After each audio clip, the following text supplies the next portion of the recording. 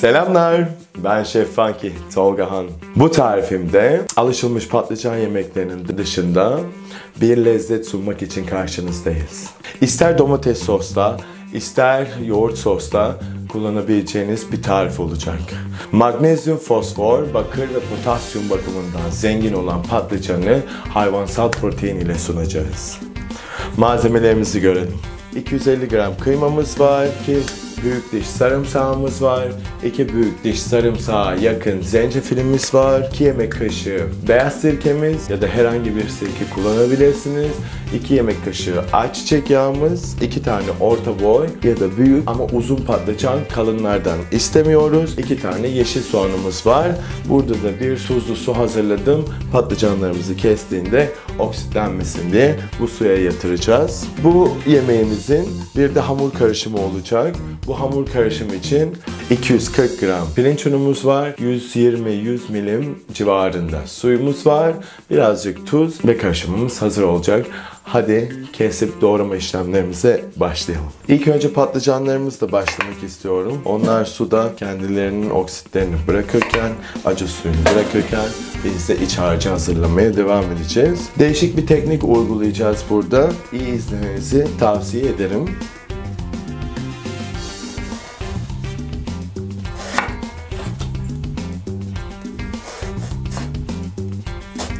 Burada yaptığımız işlem ilkini ortası açık olacak şekilde ikincisini bütün olarak kesiyoruz. Çünkü yapacağımız iç harcı bunların ortasına doldurup bu şekilde kapatıp sonra pirinç ununda hazırladığımız hamur karışımına bulayıp sonra kızartacağız. Bu tarifimiz böyle daha Güney Asya'ya yönelik bir tarif. Ben Asya yemeklerini çok bayılırım. Türk ve Osmanlı mutfağından sonra tercih ettiğim mutfak. Şöyle patlıcanlarımız kararmadan hemen tuzlu suyun içerisine atıyoruz. Çok uzun işmiş gibi gözükse de gerçekten çok zamanınızı almayacağına yemin ederim.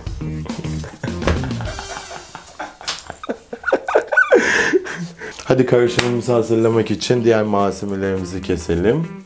Kıymamızın içerisine taze soğanlarımızı doğrayacağız. Çok ince ince tekrarlıyorum ince kesimler yaparak. Beyaz kısımları dışında yeşil saplarını da kullanacağız. Acaba Asya yemekleri hakkında ne biliyorsunuz? Bildiğiniz bir Asya yemeği var. Hangisini beğeniyorsanız lütfen bana yorumlar kısmına yazın. Ben de sizle kendi sevdiklerimi paylaşayım. Ona göre bir tarifler vermek isterim. Evet, soğanlarımızı kıymanın içerisine alıyoruz. Havanımızın içerisine sarımsaklarımızı ve zencefillerimizi koyuyoruz. Bu ayırdığımız tuzdan bir çay kaşığı kadar içerisine ekleyip güzelce ezeceğiz. Zencefil ve sarımsaklarımız da iyice ezildi ve hazırlar. Karışımımızın içine koyuyoruz. 2 yemek kaşığı zeytinyağımız var. 2 yemek kaşığı da sirkemiz var. Tuz, karabiberimizi ekleyip karıştıracağız. Ay aranızda zencefil neymiş? Ben zencefilden hiç hoşlanmam diyen arkadaşlarımız için kafanıza göre bir iki baharat atıp deneyip yorumlarda böyle daha güzel oldu abi keşke zencefili yapmasaydım falan diyebilirsiniz. Bekliyorum yorumlarınızı. İç harcımız hazır. Şimdi hamur karışımını hazırlayalım. Hamur karışımımız için 240 gram pirinç ununu karıştırma kabımızı aldık. 120 milim su, 2 yemek kaşığı ayçiçek yağı. Evet karıştıralım. İstediğimiz yoğunluk bir krep hamuru kıvamında olması gerekiyor. Çok akışkan değil, çok da yoğun değil.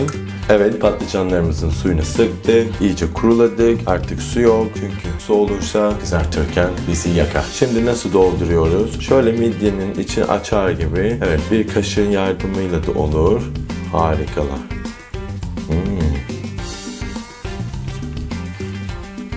Çok karnı aç patlıcanlar gibiler bir parmaktan birazcık fazla yağ koyduk. Yağımızı çok iyi kızdırmamız gerekiyor. Çünkü kızartmalarımızın yağ çekmemesini, sebzelerin kendinden geçmemesini, daha çıtır bir yüze oluşturmayı bu şekilde elde edebiliriz. O zaman hadi bandırmaya başlayıp kızartma işlemimize devam edelim.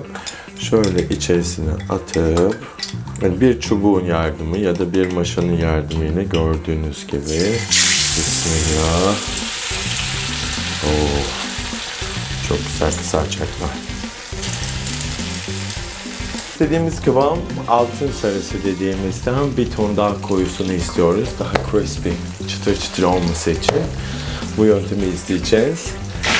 Şimdi patlıcanlarımızı çevirme vakti geldi.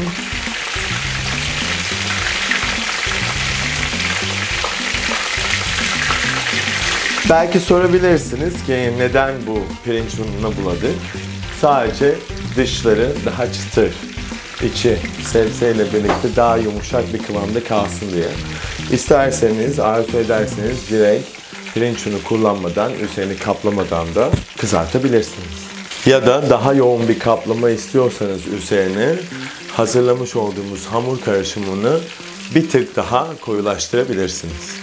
Patlıcanlarımız hazırlandı. İlk postayı çıkartabiliriz.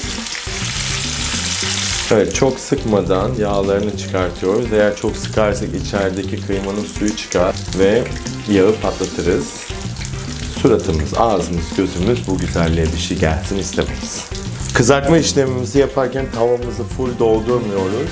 Evet patlıcanlarımızı kızarttık. Şimdi tabağımızı dekore etme zamanı. Şöyle bir sarımsaklı yoğurt hazırlamıştım. Şöyle mavi bir tabağın üzerine şöyle güzel bir çekiş. Sonrasında tabağın kenarına 4-5 parçalık bir dönüş hazırlıyoruz. Şöyle tabağımızın güzelliğini göstermek istiyorum. Böyle bir deneme yapalım. Böyle bir dip.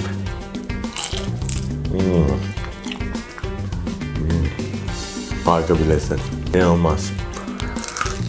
Kesinlikle denenmeli ve yenmeli. Çıkardıktan sonra altlı üstlü peçete desteğiyle bütün o üzerindeki yağı çektirebilirsiniz. Afiyet olsun. Görüşmek üzere. Yorumlarınızı bekliyorum.